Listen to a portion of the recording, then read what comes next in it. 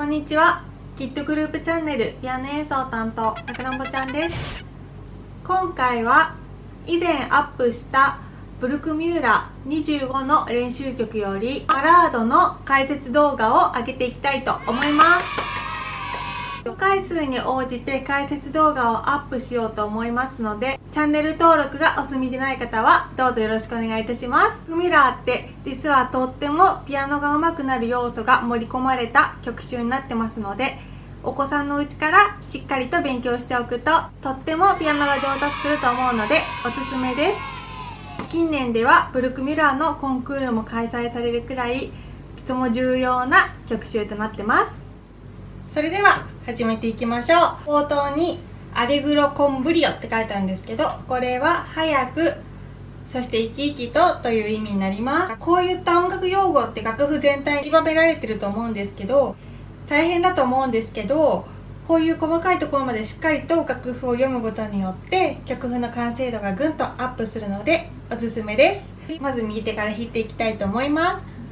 最初ミステリオーソ神秘的にっていう風に書いてあるのでピアノ弱くそしてスタッカートでちょっと神秘的に弾いていきたいと思います。こんくらいですかね。ちょっとテンポ落として弾こうと思うんですけど先日上げた動画だとちょっと重かったかなっていう風に私の演奏に思ったのでもうちょっと軽くてもいいかなっていう風にも思います。鍵盤の下までつけないイメージですね。いので下までつけないつく前にあげあの上げちゃうイメージで弾きます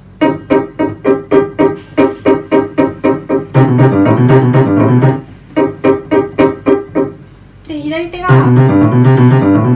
これもピアノって書いてあるんですけど右手のこの音に左手が消えてしまわないように気をつけてください。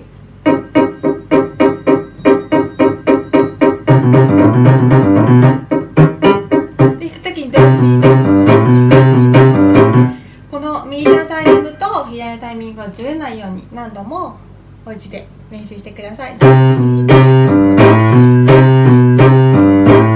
れがずれないように気をつけてください。これは結構強く弾きます。強く弾くんですけど2回目はちょっと小玉のように雰囲気を変えれるといいかなと思います。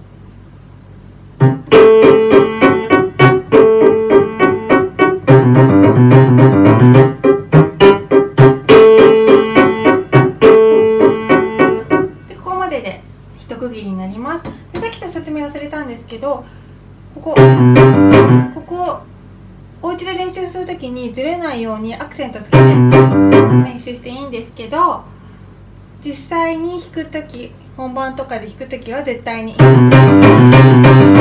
クセントつけないように気をつけてください。で次。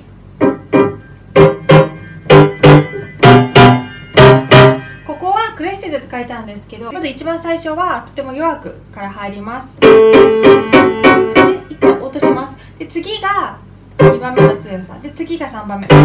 次4番目。次5番目でだんだんにグラデーションのように強くしていけるといいかなっていうふうに思います。もう一回いきます。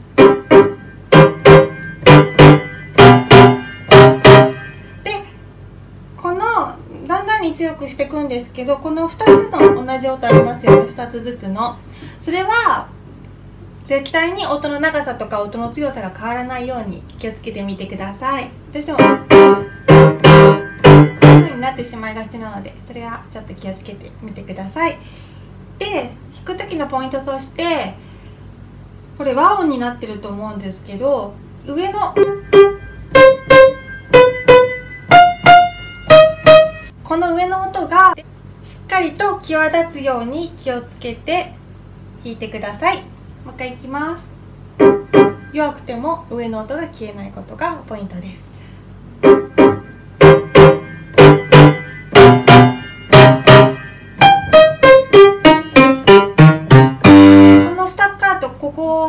手で全部均等に同じように弾くんですけど私の演奏動画だと若干ここも重かったかなというふうに感じたのでもうちょっと軽くてもしっかりフォルテできればいいかもしれません。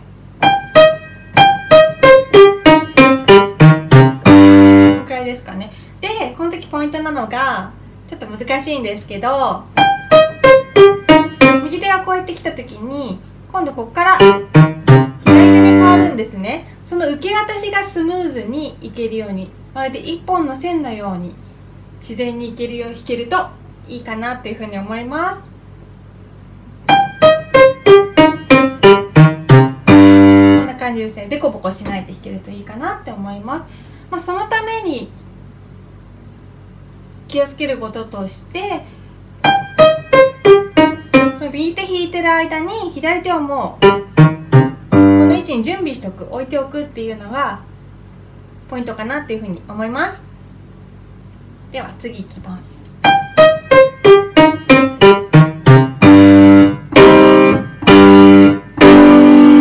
最後のこの和音はもうとっても強く弾いてください。とっても強く弾くんですけどペダルも踏むんですけど1個ずつ。これ8分9分がありますよね。そこはしっかりとお休みを取っていただきたいのでしっかりとペダルを。と一緒に離してください。こんな感じになります。でフェルマータなのでちょっとたっぷり休んでから次雰囲気をガラッと変えます。雰囲気を今までシとミとラにフラットがついててちょっとまた暗い雰囲気だったんですけど今度急に明るい全部そのフラットが取れて明るい雰囲気になります。でドルチェって書いてあるので柔らかく優しく弾いてください。ペダル踏んでもいいと思います。2小節ごと。2小節1個でペダル踏んでもいいかなって思います。でも濁んないようにあんま深く踏みすぎないように気をつけてください。7がこれは右手と左手どっちがメロディーライン主役だと思いますか？正解は右手です。なので左手のこれを頑張りすぎてしまうせいで右手のソドシソのメロディーラインが消えてしまわないように気をつけてください。あくまでも右手が主役です。じゃあいきます。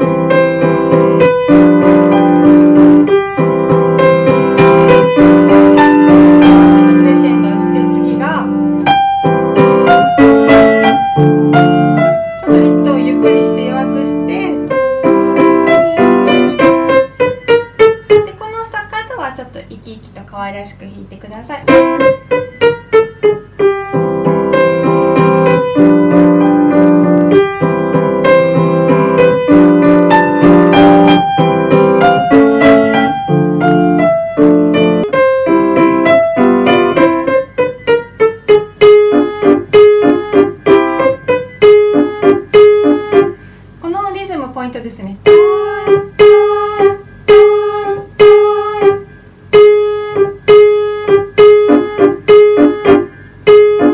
こも左と重くならないように気をつけてください。ここも同じですね。ソドシシタラこのリズムしっかり意識して練習できるといいかなと思います。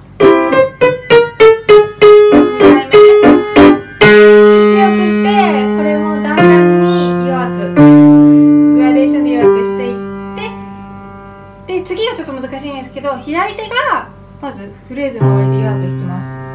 左手はフレーズの終わりなのに対し右手は再現部の始まりなんですね。なのでこの終わりと始まりを左手と右手で表現できるといいかなと思います。ちょっと難しいです。こん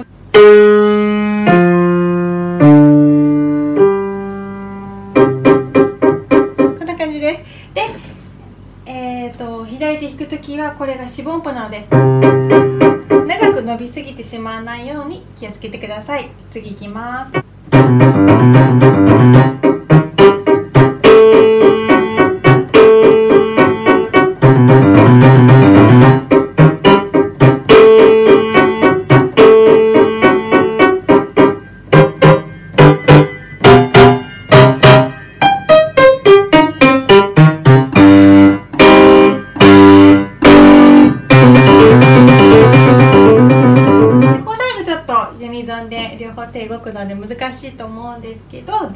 ように何度も。ス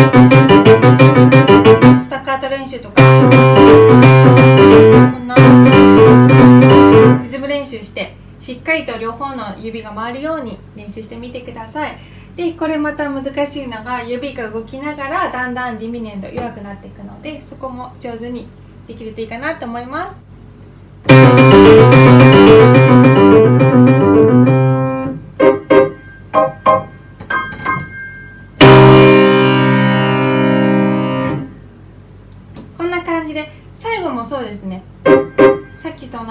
ラデーションでだんだん。弱くなってきながら上の音が消えないように。できるといいかなと思いますで急に。